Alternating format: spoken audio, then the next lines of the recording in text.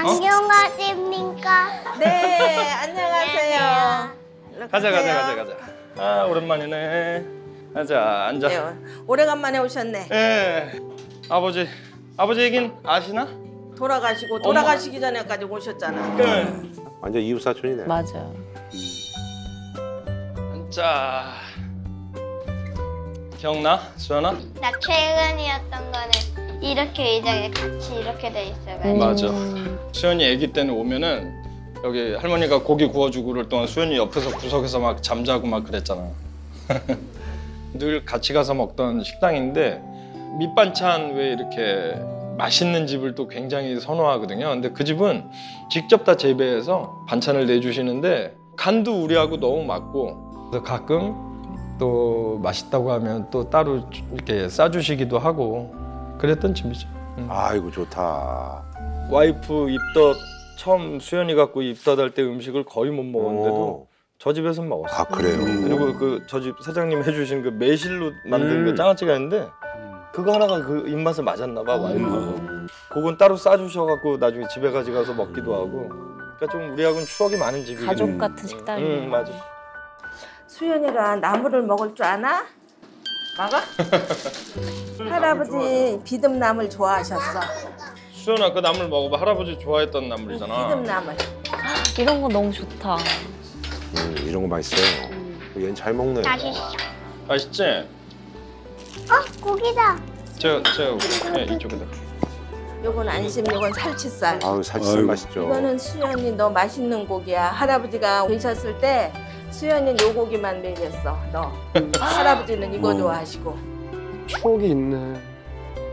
얘 매실 입덧할 때 매실 잡순 거 기억하세요? 그럼요. 우리 와이프는 아직도 얘기하는데 그래서- 매실장아찌. 음. 오늘은 두릅자 같이. 음.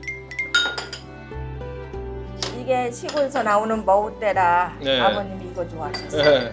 뭐 여기 엄마 아버지 뭐다 네. 좋아하시지 뭐. 음. 맛있어. 이것도 맛있다 수연아. 아유 맛있는 거 천지네. 와 진짜 잘 먹어서 좋다. 얘도 잘 먹네. 어쩜 애기가 나무를. 아 귀여워. 고기 고기. 어. 아 귀여워. 도현이 볼 어떻게 해, 귀여워. 아유, 어머 어쩜 저렇게 야, 야물딱지 제대로 어머.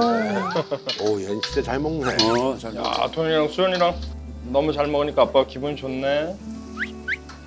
아빠도 한 입 먹을까?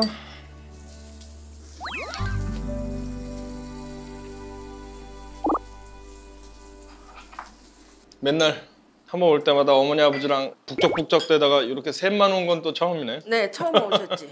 왜냐면 늘 할머니 할아버지 엄마 아빠 제 동생 네 가족 이렇게 아유. 늘 저 집 가서 먹을 땐 어. 항상 최하 일곱 여덟 명 이렇게 먹던 방이었는데 처음으로 이렇게 셋이 앉아서 먹으니까 음, 처음에. 되게 좀 낯설어 하더라고 처음에는 그럴 수 있겠다. 음. 아이고 참. 근데 그렇게 갑작스럽게 가셨어. 그래서 3년 넘게 고생하셨어요 네. 마지막에 좀 급격하게 안 좋아지셨어 어. 그 무렵에 저희 집에 두 번 오셨었어요. 바로. 그때 많이 힘들으셨을 때. 아버님이 배우님 되게 칭찬하셨는데. 여기 오셔가지고 또 아들 자랑을 엄청 하셨구나.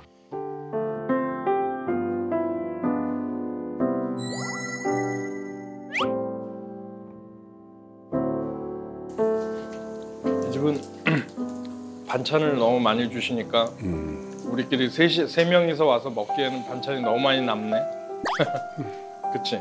늘 많이 와서 먹어. 음. 더 달라고 그러고 막 그랬는데. 맞아.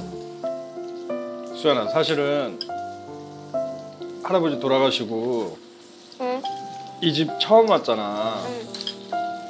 근데 아빠는 할아버지가 좋아했던 집 이런 데를 일부러 좀 잘 안 오는 거야. 생각날까 봐. 음, 맞아요 생각나. 보고 싶으니까. 그럼 또 이제 할아버지 생각 더 나고 그럴까 봐. 다 그래서 마찬가지야. 아빠가 할아버지랑 자주 갔던 집 뭐 그런 데는 잘 안 가. 음. 허전하. 음.